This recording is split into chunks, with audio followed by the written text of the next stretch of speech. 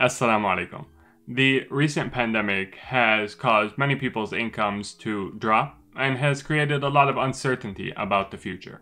Moreover, this pandemic has demonstrated just how unpredictable the economy can be and how quickly things can change. In this video, I'm going to share four tips for remaining financially prosperous regardless of what the economy throws at you.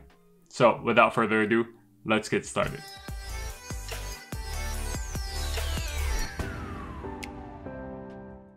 The first piece of advice is a pretty straightforward piece of advice, but it is perhaps one of the most effective things and most effective habits that you can get into and that is to simply live within your means. Living within your means is one of those things that you're either going to do voluntarily or eventually you're going to be forced to do anyway. So you might as well do it voluntarily and preserve your dignity and self respect in the process. Now, the first step to living within your means is to figure out how you're living currently. Now, most people know their income, but not all people track exactly where they are spending their money. So to figure out whether or not you're living within your means, you need to track all of the expenses that you're incurring and categorize them as either needs or wants. So what I mean by needs are things that you can't do without, things like shelter, healthcare,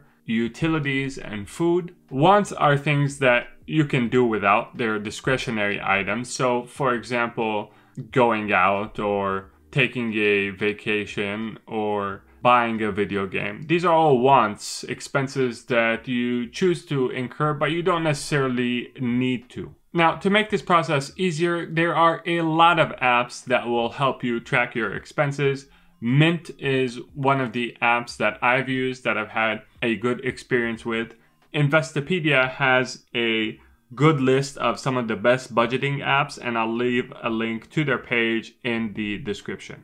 Now, once you've tracked where your money is going and how much you're spending on needs versus wants, the next step is to trim the fat where needed. A good rule of thumb when you're budgeting is the 50 30 20 rule, and this rule basically says that 50% of your income should go to needs, 30% should go to wants, and 20% should go to savings and investments. Now, keep in mind, this is a rule of thumb, so you want to make sure that it makes sense for your specific circumstance. So, if you're a high earner and, for example, you're bringing in $20,000 after tax every month, then you don't necessarily need to spend 30% of that or $6,000 a month on things that you just want probably you'd be able to get by just well spending less than that and saving more, for example. Personally, how I do it is I start with what I want to save and invest,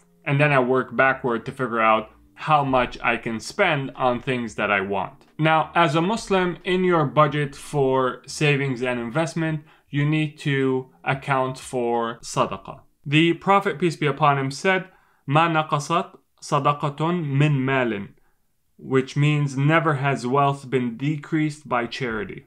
So, sadaqah or giving to charity is one of the best investments you can make. As a Muslim, we don't just invest for this life, but we invest for the hereafter as well. And sadaqah is one of the best investments you can make. So make sure you are planning for sadaqah, you're planning for charity in your budget. Don't leave it to chance. So if you hear a moving khutbah about giving to charity or some cause, then you give to charity. And if you don't hear a khutbah in a long time, you forget about it. No, budget your sadaqah, plan for it, and then automate it. Additionally, you're going to use your savings and investment budget to pay down any debt that you have. So obviously there are minimum debt payments that you have to make. Those are in the need part of your budget. Those are non-discretionary payments that you have to make. But in terms of what you pay above your minimum payments, those come from the savings and investment part of your budget. And this brings me to my second tip to always be financially prosperous, and that is to rid your life from debt. Now, obviously, the best way to rid your life of debt is to never get into debt in the first place. And the primary tool that's going to enable you to not get into debt in the first place is to follow the first piece of advice that I mentioned, which is to live within your means. However, if you do find yourself having fallen into debt for whatever reason, then you need to prioritize getting out of debt as soon as possible. The Prophet, peace be upon him, used to regularly supplicate, O oh Allah, I seek refuge with you from sin and heavy debt. And keep in mind, paying off your debt is not only a worldly consideration, but one for the afterlife as well. The Prophet Muhammad, peace be upon him, said, The soul of the believer is suspended by its debt until it is paid off. Now, it's important to mention here while you're paying off your debt, the 20% minimum that we said should be allocated towards savings and investment, and from which will come the payments to eliminate your debt. Part of that should also be used to build a cash cushion so that if you have an unexpected expense, you don't have to go into debt to cover that expense. So you want to pay off your debt while building a reasonable cash cushion so that if an unexpected expense arises, you don't have to go into debt in order to cover that expense. With paying off your debt, my stance is that the more aggressive you are, the better. And I hope everyone who is indebted, inshallah, is able to liberate themselves from their indebtedness. The third piece of advice in order to remain financially prosperous is to continue your education and refine your skills. I know it's cliche, but one of the best investments you can make is an investment in yourself. Having a skill that you can sell on your own is freedom. Skillshare is a great platform for learning new marketable skills. I'll leave a link to their site in the description of this video even if you have regular employment, make sure you have a side hustle that you earn some money from. So that in case you lose your main employment, you can fall back on this side hustle and make it your main hustle or just keep it your side hustle while you are continuing to look for employment so that you avoid your income falling to zero. The fourth piece of advice to remain financially prosperous is to be appreciative. No amount of financial prosperity will make you feel content, will make you feel prosperous if you're mentally not in the right space. To a certain extent, you are poor to the extent that you feel you are poor and you are prosperous to the extent that you feel you are prosperous. Now, obviously, there are some things that would be objectively detrimental to your well-being. So an absence of, you know, decent shelter or healthcare or food. Obviously, these are necessities that people need. However, many people have the necessities that they need and they don't feel appreciation for what they have. Listen to this very beautiful hadith. The Prophet, peace be upon him, said, Whoever among you wakes up in the morning secure in his dwelling and secure in his family, healthy in his body, having his food for the day, then it is as if the entire world has been given to him. Now, who among us wake up with nothing in their body hurting and secure in their house, secure regarding their family, have the food that they need for the day, and feel like the entire world has been given to them. And if we don't have this feeling, why don't we have this feeling?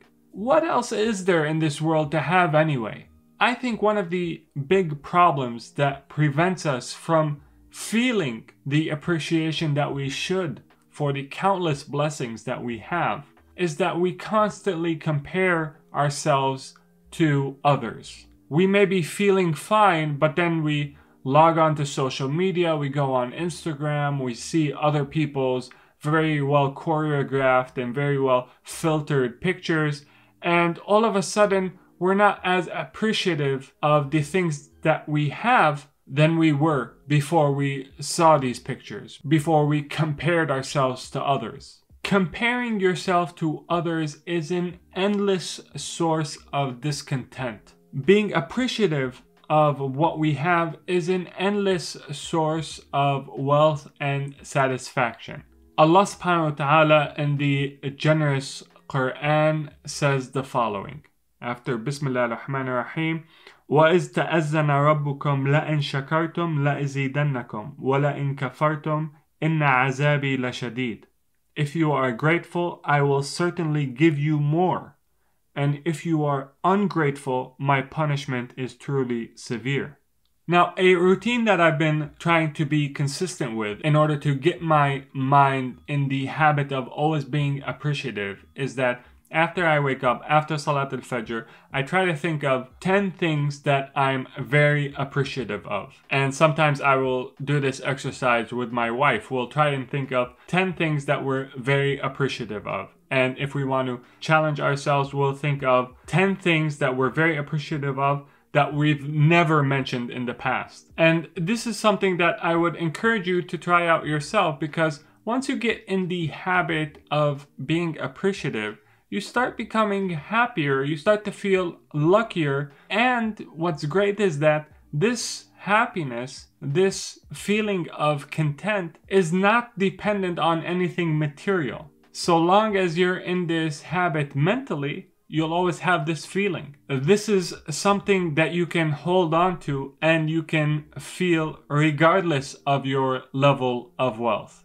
So that would be my fourth piece of advice if you want to always stay rich. So if you live within your means, you live debt free, you are always working on yourself, continuing your education and refining your skills, and you are appreciative for what you have, I think you have a really high chance of remaining rich, remaining financially prosperous inside and out, regardless of what the economy throws at you. I hope you found this video beneficial. If you liked anything in this video, I'd appreciate a like. Speaking of appreciation, subscribe for more content like this. If you're looking to buy stocks in the United States, check out M1 Finance, link in the description to support the channel. Until next time, make sure to take care of yourself. Assalamu alaikum and peace be upon you all.